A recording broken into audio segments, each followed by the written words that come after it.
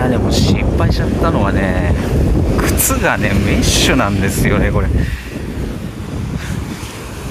砂が入っちゃいましたけど。えー、っとえー、っとあれが多分鹿の島なのかなで向こうに小さく見えてるのがあれがあれがのこの島かなと思いますね、えー、あの金印が見つかったところですよ。鹿の島、えー、ですね。えーと多分ねもうこれ自体がもう防塁なんでしょうね。おおっとととと。波が結構近くまで来ますがおおおおおまあこれ自体が多分ボールなんだろうな。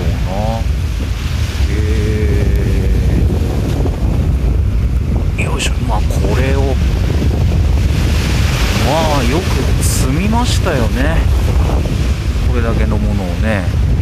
もうまあこの原稿ボ類というのはまあでもなんかこれ後から作られた感がすごいありますよね、もうちょっとなんか多分別のがあるんじゃないかな。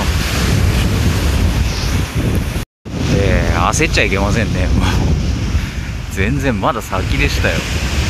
そりゃそうだよな。こんなに綺麗にしかも松の部分こうやって出っ張らしてなんてねもう。そんなわけないじゃないですかね。もう何年歴史の先生やってんだよ俺は。いやいやいやいや困ったもんで。えー、ということでもうちょい先。あだんだん見えてきましたけどね、えー、もうちょい先です。はい。こちらが本物でございました。駅の松原原稿ボール。えー、こっちでしたね、これを積み上げたわけで、えー、そうですね、うん、あちらが本物なんですけど、えっ、ー、とね、まあこのボールっていうのは、えー、結構ですね、あの長い距離、えー、ここだけじゃなくもう福岡市の全般にわたってね、え海岸線にずっと作られたものなので、えうんまあ、詳し